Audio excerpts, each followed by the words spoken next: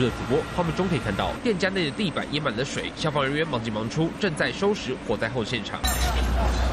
这是台中丰原区的一家石头烧烤店，三号晚间八点左右传出火警，店长表示，火灾发生当下就马上疏散客人，并用灭火器自行灭火，火势才没有扩大。有客人在用餐，那我们就先行请他离场，然后先把所有的客人先全部疏散出去，那连我们的员工也都疏散出去之后，我们再请消防队进来。消防人员到场，发现店内弥漫着白烟，没有明显火势，也没人受困，只有一人抢上送医。八点四十二分，随即扑灭火势，并将浓烟排除。是一楼的那个烧烤的。烤炉起火燃烧，引燃排烟的管线，那整个排烟管线到二楼的管线都有烧毁的状况。消防队表示，相关财务损失还有待调查厘清。以上最新主播，我是王一众。新闻的产业带给我满满的使命感，不论是贴近民生的议题，或是国际的话题，我都能够精确、真实传达最完整的资讯给各位观众。